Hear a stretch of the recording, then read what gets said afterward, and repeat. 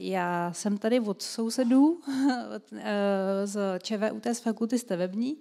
Moje jméno je Barbara Jachimová a budu tady mluvit za část týmu projektu nebo spolupracující na projektu Centrum voda, který tady už kolegyně Semerádová z VUV představovala.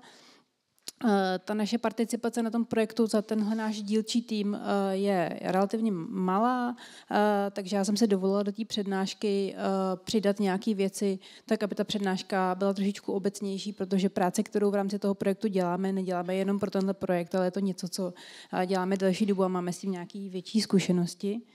Ehm, maličko teorie na úvod, co se týče eroze, já si dovolím tady navázat na předcházejícího, přednášejícího s, tou, eh, s tím historickým vhledem do nějakého vývoje, uh, protože je to velmi důležitý.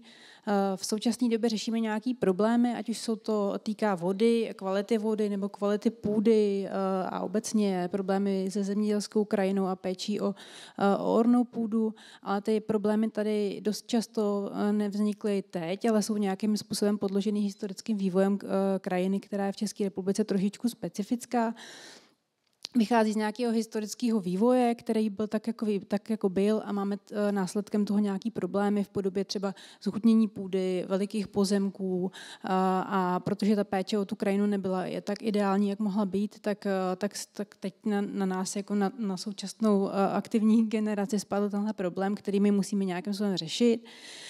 Další věci jsou samozřejmě ty věci obecné, na které tady narážíme a naráželi eh, přednášející přede mnou, které se týkají například klimatické změny a důsledku klimatické změny v České republice, které jsou zase trošičku specifický nebo respektive jsou specifický v každé zemi trošku jiný.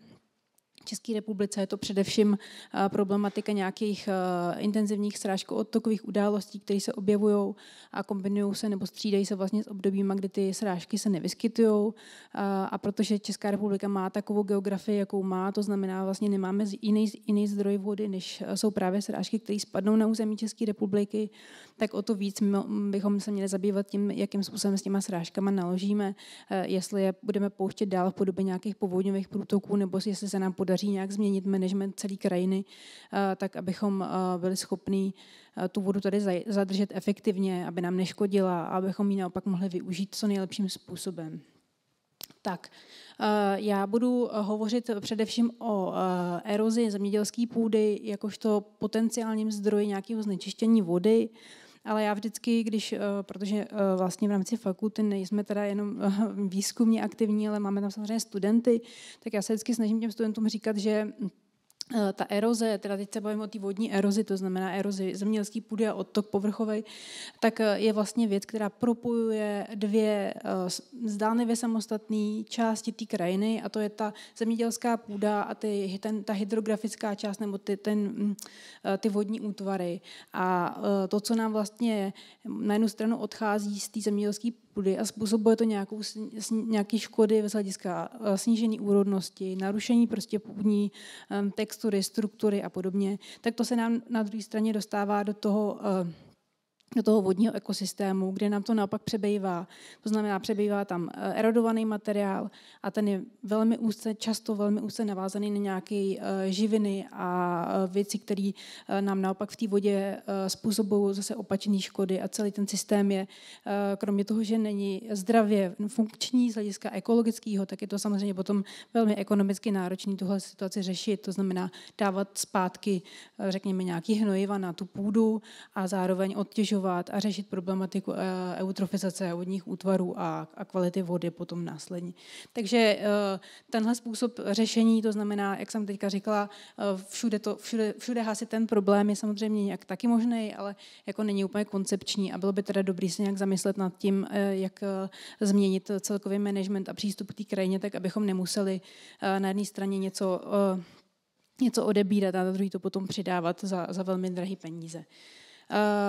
Co se týče toho celkového procesu, tak proces eroze obecně má strašně moc vstupních faktorů, které ho ovlivňují. Jsou tu nějakým způsobem vymenovaný, záleží na tom, jak, jak to konkrétní lokalita vypadá, jak jsou ty pozemky právě velký, jaký mají tvar, jaká je tam kvalita půdy, záleží na tom, jaký máme srážky a podobně. My jsme schopní některé ty věci měnit, to znamená, můžeme s tou krajinou nějak pracovat, můžeme ji nějak plánovat lepším způsobem, můžeme se snažit zlepšit kvalitu půdy, která se nějakým způsobem měnit částečně dá a můžeme to taky nějak popisovat. Eh, já když vlastně eh, vždycky pracuji v rámci nějakého většího projektu, jako je třeba Centrum voda, tak se trošičku dostávám do takového situace, kdy spousta těch eh, pracovišť spolupracujících jsou velmi sofistikovaní z hlediska nějakého měření, detailního modelování těch, těch látek a my jako na, na, na fakultě stavební, která vlastně není primárně něco, co by byl zaměřený na životní prostředí, když ten náš obor jo, tak my jsme možná trošku míň míň eh, chemicky a ekologicky zaměření a pracujeme eh, s tím eh, trošičku jiným způsobem. To znamená, my máme modely na to, jak tu erozi mm, nějakým způsobem modelovat a počítat na základě buď změřených dát nebo na základě nějakých volně dostupných dat. Já jsem se velmi zaradovala, když tady mm, paní mm, Bísková na začátku uh, hovořila o uvolňování a zpřístupňování vlastně dat, což je věc, která teďka v současné době proběhla nějakým způsobem a my jako za náš tým jsme velmi rádi za to, že máme spoustu dat, které jsme dřív o ně museli žádat, je kupovat a máme dneska dostupný a můžeme je do těch modelů používat. Takže uh, tohle je věc, kterou já trošičku vždycky jakoby na ní narážím, na ten velmi detailní přístup uh, měření v krajině, v měření v tocích, měření uh, v půdě a zároveň uh, nějaká potřeba toho koncepčního plánování, která samozřejmě ne, nemůže být založená jenom na tom, že budeme ty data detailně měřit, protože nejsme schopní uh, plán, jakoby udělat nějakou, nějaký strategický plánování na základě detailního měření. A myslím si, že ta naše práce je, tvoří trošičku jako most mezi tím strategickým plánováním ve velkém území a nějakýma lokálníma, lokálníma eh, detailníma studiema. Takže my máme i modely, které umožňují detailně měřit konkrétní srážku otokové události, konkrétní erozní události, jsou tu vyjmenované. Pardon? Jo. No. Jo. Jsou tu vyjmenované nějaký typy modelů. Problém ovšem je, že jak jsem tady vyjmenovala tyhle ty všechny vstupní faktory, tak tyhle modely, které uh, pracují s konkrétní srážkou, tak jsou velmi náročné na vstupní data. A pokud chceme vytvořit nějakou uh, studii, která je zaměřená na velký území, tak my vlastně tyhle data nejsme schopni nikdy do toho modelu, jakoby ten model naplnit takhle detailními daty. A proto my používáme model, který se jmenuje VOTEM 7, který se zdá být uh, vlastně velmi jednoduchý, je velmi robustní, je založený na velmi uh, dobře dostupných datech. V podstatě dneska uh, právě po, uvolnění těch dat jsme schopni naplnit ten model daty volně, volně přístupnými víceméně. A ten model, uh, tak jak je robustní, tak samozřejmě nepracuje s nějakýma konkrétníma detailníma srážko-otokovými událostma, nepracuje v nějakém velikém detailu, ale velmi dobře umožňuje nějaký hrubý odhad pro velká území a proto my vlastně mm, ho používáme. Já si tady dovolím velmi krátké představení dvou uh, lokalit, které uh, používáme jako jakási pilotní povodí. První ta lokalita je povodí Vrchlice, kterou právě používáme jako jedno z pilotních povodí v tom projektu Centrum voda. Je to povodí, který my v tom našem dílčím týmu používáme velmi dlouho a máme ho dobře zpracované. Máme tam nějaké kalibrační hodnoty a z tohohle důvodu vlastně ho používáme pro, pro nějakou naší kalibraci a pro, pro naše jako pilotní uh, výpočty je to povodí, který se nachází v, na Kutnohorsku. Můžete se tady podívat na to, jak je to povodí velké, má zhruba 100 km čtverečních. Nadmorská výška, to jsou věci, které jsou spíš jakoby statistické. Využití toho povodí je především jako orná půda, poměrně velkou část toho povodí tvoří lesní plocha. A tohle to jsou nějaké základní erozní statistiky, které jsme my schopni spočítat. Vidíte, že tam dochází k nějakému nějakému transportu půdního materiálu, ale vzhledem k tomu, jak to povodí vypadá, tak veliká část toho povodí se vlastně uh, usazuje už v ploše povodí, což z hlediska třeba hydrografické sítě je vlastně dobrá zpráva, protože do toho toku vstupuje poměr, relativně malá část toho erodovaného materiálu. Uh, což je jedna z výhod toho modelu o tom sedm, který nepracuje jenom s erozí, ale umožňuje i modelovat depozici do, eh, do vodního, eh, do vodní, v rámci plochy povodí a následně potom vstup do vodního toku. Druhé povodí, povodí nazýváme ho Oleška, když tam je řeka Oleška, ne vodní nádrž Oleška, pardon, a je to vlastně něco, co mm, je povodí, kterými jsme zpracovávali v rámci jiného projektu a je to proto, že eh, jsme v rámci tohoto povodí modelovali nějaký scénáře vývoje toho land use a managementu té krajiny za účelem ochrany vlastně eh, vody z hlediska eh, vstupu sedimentu do hydrografické sítě a vstupu nějakých živin, především fosforu do hydrografické sítě. Zase tady máte nějaké základní informace, to povodí je výrazně větší, má nějaký zhruba rovnoměrný rozdělení zastoupení orní půdy, lesa a travných porostů a zase vidíte, že z celkové eroze se veliká část eh, usazuje přímo v tom, eh, v tom, v tom povodí. Tohle už je potom eh, spíš pro ilustraci to, co model sedem ale umí eh, zpracovat. Tohle je to povodí vrchlice. Vidíte tady nějakou erozně depoziční situaci, kdy eh, ty plochy, které jsou označené těma oranžovými mm, barvičkama, tak jsou plochy, kde dochází k erozi. Eh, zároveň jsou tady čísla eh, na jednotlivých úsecích vodního toku, která eh, znázorňují, kolik toho erodovaného materiálu se do vodního toku dostává v tom konkrétním úseku toho vodního toku. Eh, to, co je další benefit toho modelu, je to, že jsou tu ta červená čísla, což jsou vlastně vodní nádrže eh, v povodí vrchlice. Nejsou tu všechny, jsou tu jenom ty, která ta čísla měly dostatečně vysoká, aby ta mapa nebyla nepřehledná. A ten model umožňuje mimo jiné eh, spočítat, jaké množství erodovaného materiálu se zachytí v jednotlivých těch nádržích.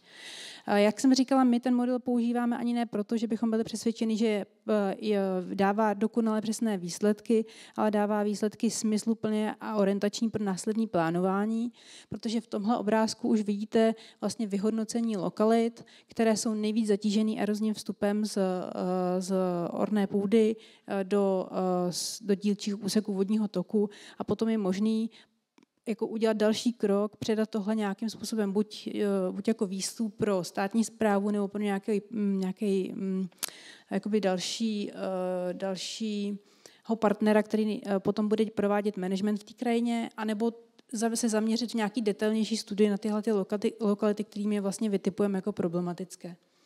Eh, to, co eh, z hlediska živin my vlastně um, umíme v tom modelu dělat, je eh, vlastně nějakým způsobem implementovat do toho modelu obohacení toho mm, erodovaného materiálu fosforem, protože fosfor považujeme, nebo my jako pracujeme s ním jako vlastně s největším, mm, s největším činitelem, který ovlivňuje eutrofizaci vlastně vodních útvarů stojatých vod v České republice. Eh, takže do toho samotného modulu jsme schopni na základě spočítané eh, erozní eh, intenzity implementovat množství fosforu v té erodované půdě a ty vstupy erozního materiálu do těch úseků vodních toků jako transformovat na vstupy eh, celkového fosforu.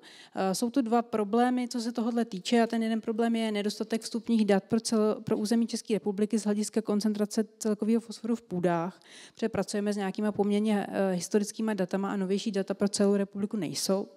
A druhým problémem je potom to, že z hlediska eutrofizace je velmi důležitý fosforečnanový fosfor, to znamená ten fosfor, který je přístupný pro, pro vodní rostliny a tam je problém jako určování toho podílu z toho celkového fosforu z té eroze. Takže my to používáme spíš jako jakýsi odhad a ukazatel toho, jak významný, významná ta eroze z hlediska transportu, transportu fosforu do vodních toků je. Ehm, a tohle už jsou nějaké ukázky toho, co se potom dá eh, dělat a případně i modelovat, proto jsem tam do toho, do toho prezentace dala to povodí Oleška, protože aktuálně se hovoří o vlastně zatravňovacích pásech v okolí vodních toků. Tady je ukázka toho, jak ten, vod, eh, ten zatravňovací pás funguje. Tohle je vlastně eh, ze strany toho toku, je to nějaký letecký snímek a tady vidíte, jak dochází k zastavení toho, toho erozního odtoku a jeho zpomalení a sedimentaci.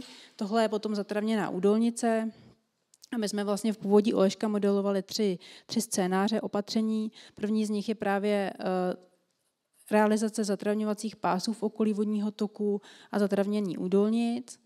Druhý ten scénář potom je zatravnění nějakých celých pozemků. To jsou tahle, ta šrafovaná políčka, které jsou sklonité, tudíž podezřelé z hlediska, z hlediska ohroženosti, z hlediska eroze.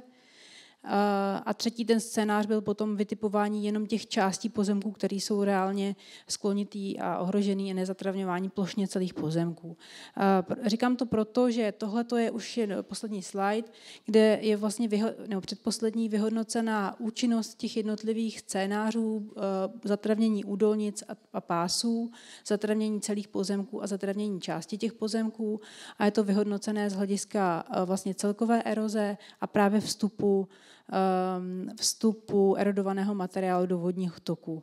A můžete se podívat potom nějakou, eh, zase asi těžko mm, k přečtení tabulku, kterou můžeme ale vyrobit a můžeme posoudit, jak moc nám ty jednotlivé opatření budou fungovat z hlediska ochrany půdy, z hlediska ochrany vody, případně kombinace a kolik, eh, kolik vlastně třeba orný půdy bude muset eh, padnout na, na oltář toho, že pomůžeme tom povodí a dá se vyhodnotit ta účinnost.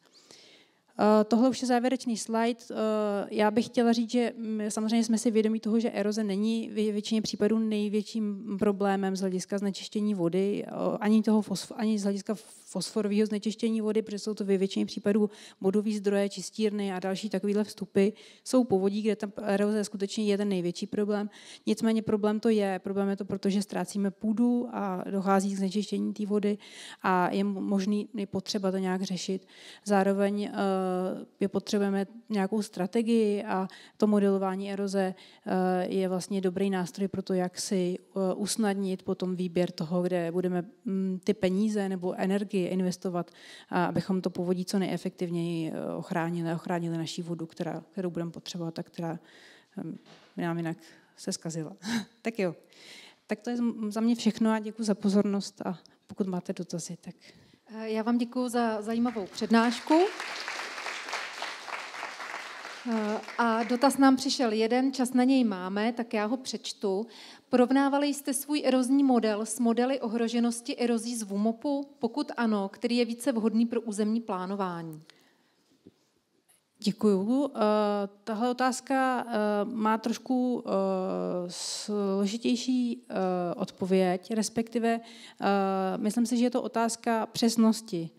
Eh, ten model z VUMOPu vychází eh, vlastně, na, nebo je založený na stejném principu, pokud eh, si uvědomuju, všechno, všechny oba ty modely vycházejí a jsou založeny na univerzální rovnici, která prostě je nejjednodušší nástroj, jak erozi počítat.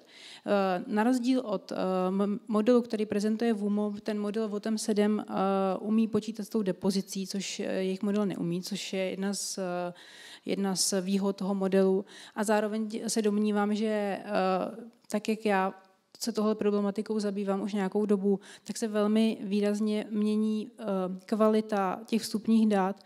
My v podstatě každý rok eh, nebo rok od roku máme podrobnější digitální model, podrobnější land use, a máme výkonnější jakoby, nebo, nebo funkčnější tu výpočetní techniku a jsme schopni detailnic zpracovávat a, a aktualizovat ty data. Takže si domnívám, že jakýkoliv model, který bude novější, bude vždycky jako lep, o něco lepší a v tomhle případě m, mm, pro územní plánování Myslím si, že VUMOP to nemá takhle lokalizovaný. My jsme schopni jakoby vlastně z hlediska třeba těch, těch vodních toků jít do, do většího detailu. Takže, takže tak.